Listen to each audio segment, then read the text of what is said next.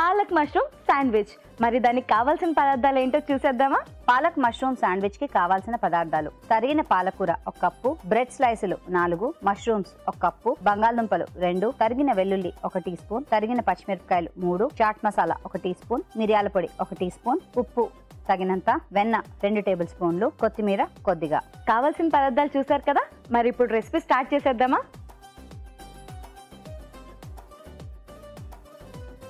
ముందుగా పెనం హీట్ చేసుకొని కొంచెం బటర్ వేసుకోవాలి.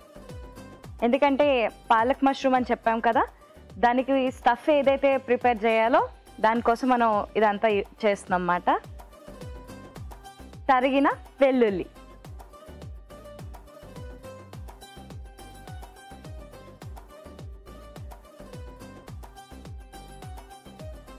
తరిగిన పచ్చిమిర్చి.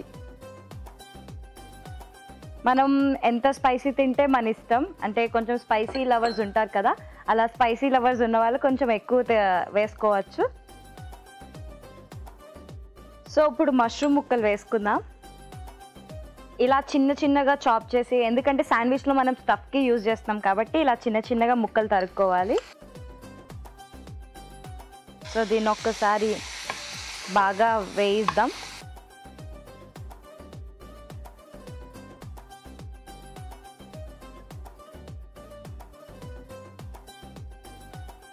సో ఇప్పుడు మనకి మష్రూమ్ వేగింది కదా సో పాలకూర ఇలా చిన్న చిన్నగా తరిగాము. ఈ పాలకూర కూడా వేసేద్దాం.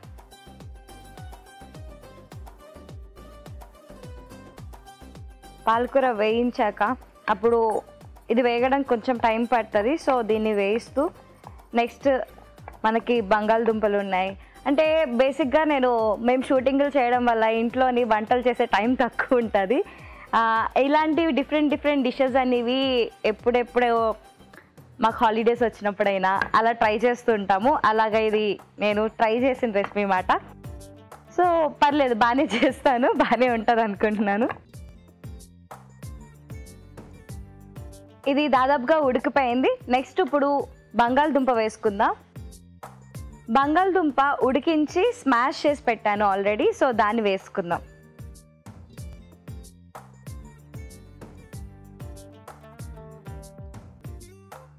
ఇది కూడా కొంచెం వేగాక అప్పుడు మనం నెక్స్ట్ ఉప్పు కారం అన్ని ఉప్పు మిరియాల పొడి అవి వేసుకొని నెక్స్ట్ బ్రెడ్ని టోస్ట్ చేస్తాం.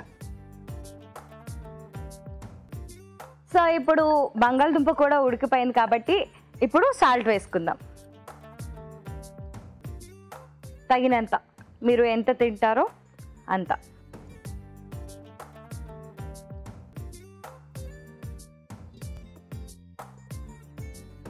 ఇప్పుడు మిరియాల పొడి వేసుకుందాం.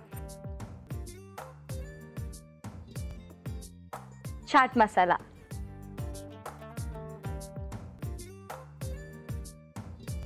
చాట్ మసాలా వేసుకుంటే పుల్ల పుల్లగా బాగుంటుంది.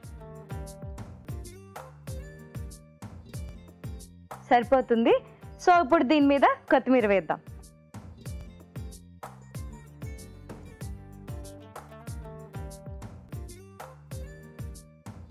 సో ఇప్పుడు మనం స్టవ్ ఆఫ్ చేసేద్దాం. ఎందుకంటే మనం స్టఫింగ్ అనేది రెడీ అయిపోయింది. ఇంకా బ్రెడ్ని టోస్ట్ చేసేద్దాం.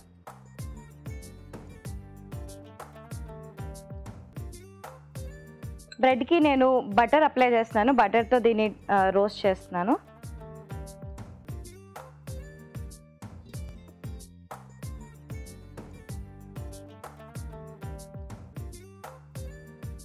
ఇలా టూ స్లైసెస్ మనం రోస్ట్ చేసుకుంటాం ఎందుకంటే స్టఫింగ్ చేసి దాన్ని కట్ చేస్తే మన శాండ్విచ్ షేప్లో వస్తుంది అనమాట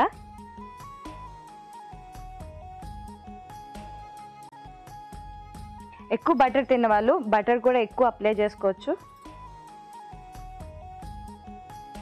కొంచెం రోస్ట్ చేసుకొని అటు ఇటుగా ఫుల్గా స్టఫ్ చేసేసుకొని ఇంకా కట్ చేసి మనం సర్వింగ్ ప్లేట్లో తీసుకుంటే ఎమ్మి ఎమ్మిగా రెడీ అయిపోతుంది అనమాట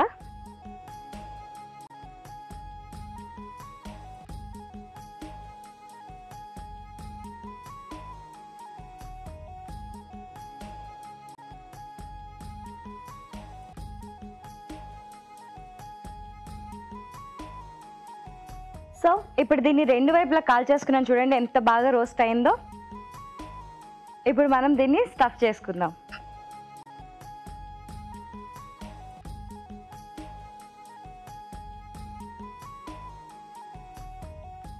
మీకు ఇంకా బ్రెడ్ మీద ఏమైనా ఆనియన్స్ కానీ సాస్ కానీ టమాటో చాలా మందికి ఈ ఫ్లేవర్స్ బాగా ఇష్టం.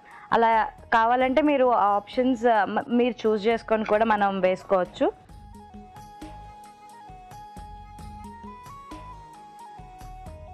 సో నేను ఆల్రెడీ ఇందులో అన్నీ వేసేసాను కాబట్టి నేను అందుకే ఇంకేమీ యాడ్ ఆన్ చేయట్లేదు ఇప్పుడు దీని మీద ఇంకో బ్రెడ్ పెట్టేసి మనం స్లైస్ కట్ చేద్దాం.